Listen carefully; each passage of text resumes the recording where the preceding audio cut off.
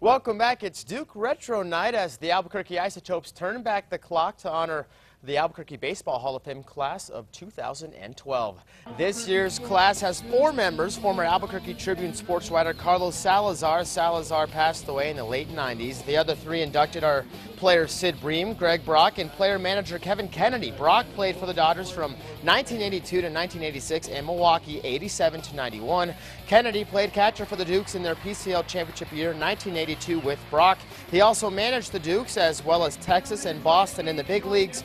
He says he loves recalling joining the Dukes back in 82. On that team and winning the championship. You know, Greg left and went to the big leagues, and Sid Bream came up and took over in the playoffs, and he was crushed.